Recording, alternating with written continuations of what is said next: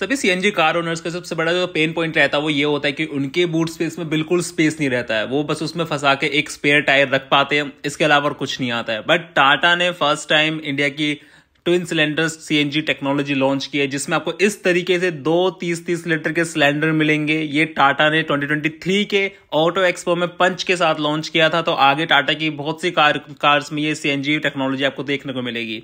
सो so, comment करके बताएँ आपको ये टेक्नोलॉजी कैसी लगी।